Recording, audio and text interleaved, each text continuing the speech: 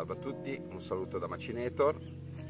Siamo a inizio primavera e abbiamo voluto dedicare questa battuta di funghi nel mondo di fungomagia alla ricerca di un fungo che ancora non vi avevo mai presentato.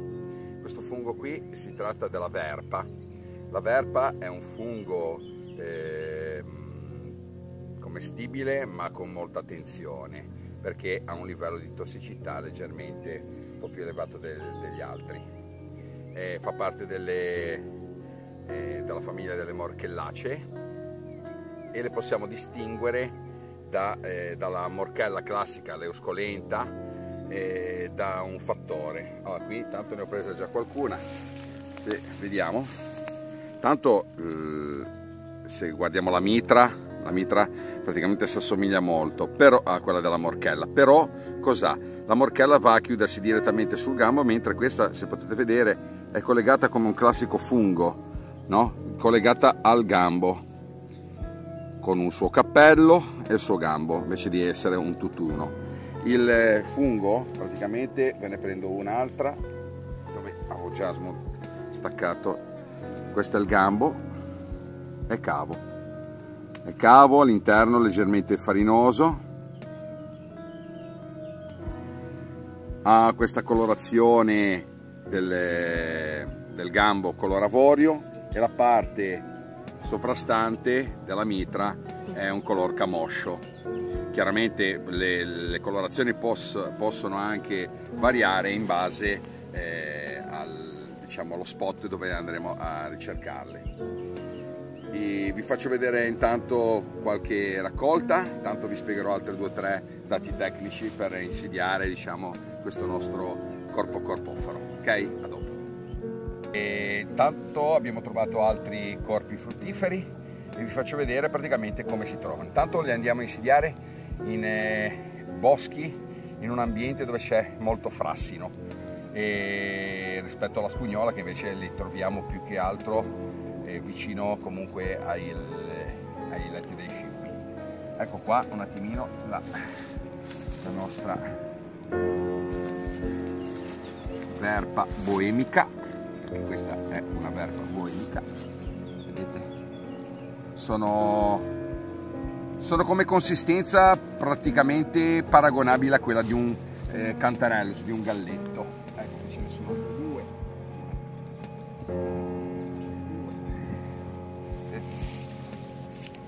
Sono funghi delicati chiaramente, quindi vanno staccati con molta delicatezza, e mettendoli dentro in, a cesti abbastanza capaci senza sovrapporle troppo, proprio per evitare che queste poi si vadino a sfrantumare e creare alla fine della giornata una poltiglia anziché un bel eh, car eh, carniere di, di funghi.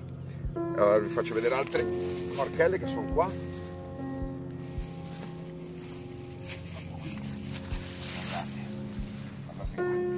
nascondono in maniera camaleontica in mezzo a queste foglie perché le foglie comunque se fate eh, caso sono più o meno dello stesso colore, si avvicina molto, quindi si nascondono eh, bene, bisogna fare una ricerca lenta, attenta.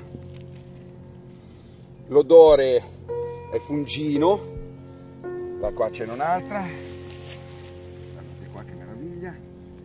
Possono raggiungere anche dimensioni importanti, possono raggiungere anche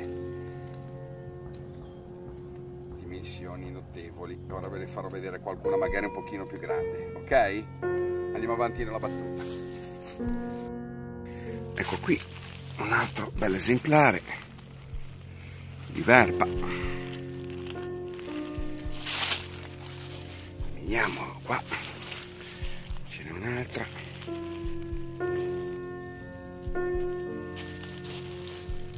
guardate come si nascondono sotto le le foglie, guardate. Ecco qua. Sono stupende.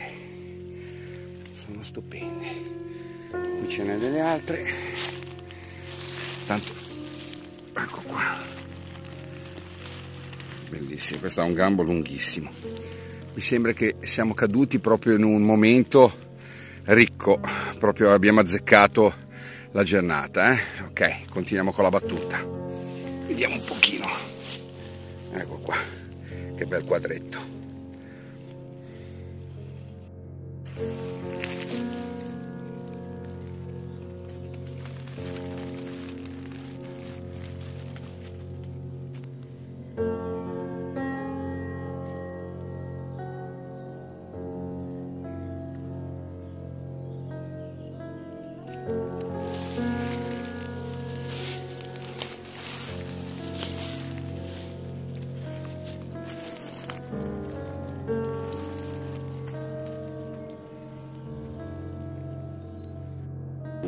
guardate qua, morchellando, morchellando.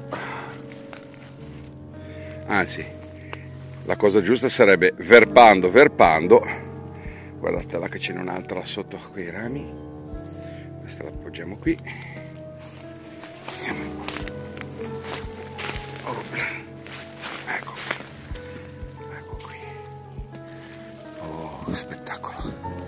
Bisogna tirarle via in maniera molto delicata. Eh? Dunque rischiamo che ci rimanga il cappello in mano. Ok.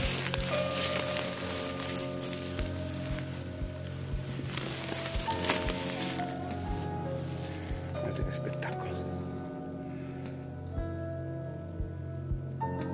Ecco qui un'altra verpa. Eccola che bella che è. Ricordiamoci sempre che la verpa un fungo che normalmente compare prima delle nostre sorelline morchelle sia l'euscolenta che la conica c'è da dire che prediligono entrambi quasi gli stessi terreni quindi stesso habitat.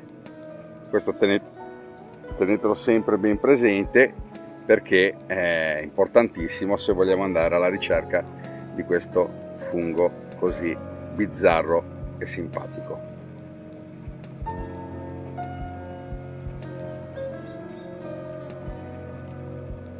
Bene, e in questo video che ho dedicato a tutti voi eh, non potevo trovare altro spot migliore per concludere questo eh, questo video sulla verpa boemica.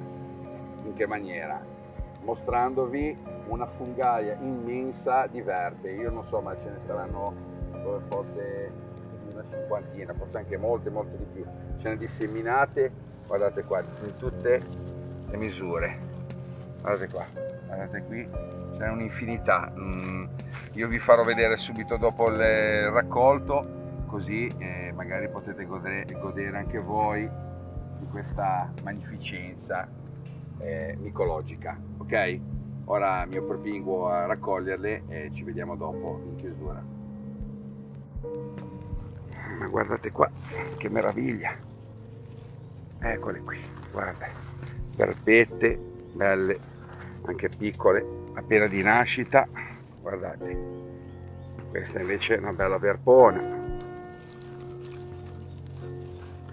Eh, ma che spettacolo, che spettacolo, meraviglia. Guardate qui, guardate qui, qui ce ne sono altre, altre lì, là ce ne sono altre, guardate quante ce n'è lì, lì. Continuiamo la raccolta e poi vi faccio vedere.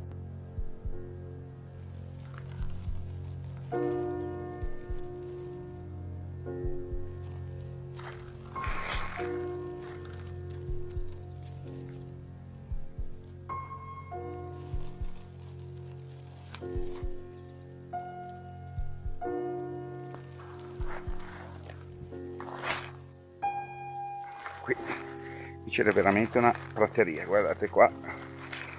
Uno due tre quattro cinque.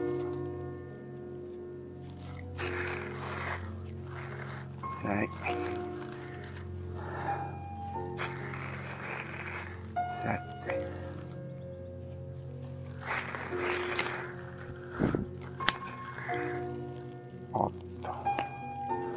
9. Ok. Ce n'è qua.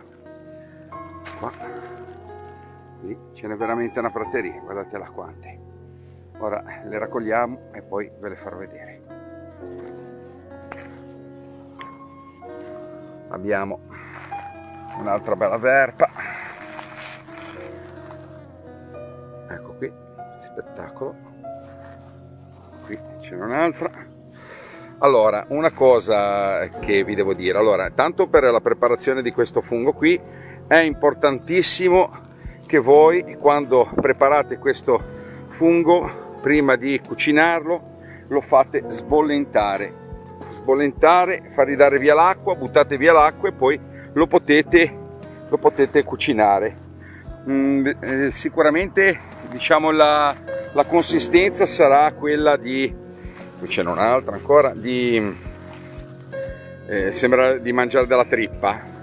Ha un gusto particolare anche se dall'odore all'inizio potrebbe sembrare quasi forte ma in realtà poi diventa delicato una volta cotto. Sembra di mangiare trippa ma tanta roba eh? tanta roba veramente.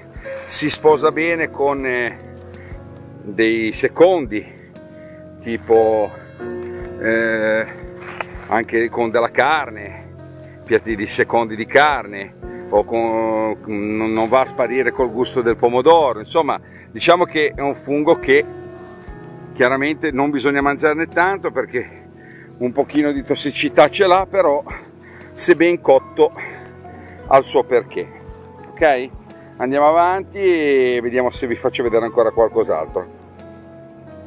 Benissimo ci troviamo ormai a fine battuta e direi che quello che vi ho mostrato oggi è stato più che eh, soddisfacente almeno spero per voi, gli amici di, che mi seguono. E cosa volevo dire? Volevo dire intanto che di fare molta attenzione eh, nella raccolta di questo fungo perché è facile che possa essere in qualche maniera confuso con qualche specie che ahimè è velenosa. Ok, non vorrei eh, creare problemi a nessuno. Considerate sempre che questo, eh, quest queste riprese, queste mie eh, note micologiche sono semplicemente eh, note per gli appassionati, però fate sempre vedere poi nei, nei centri specializzati, nelle ASL, i vostri funghi quando li avete raccolti, mi raccomando perché è importantissimo. Con i funghi, ripeto ogni volta, non si scherza mai. E, ehm, che dire, io vi saluto, vi do appuntamento alla prossima battuta di funghi e un saluto a tutti dal Macina dalla Macinina a tutti quanti e dal mondo di Fungo Magia. Ciao ciao cari a tutti quanti.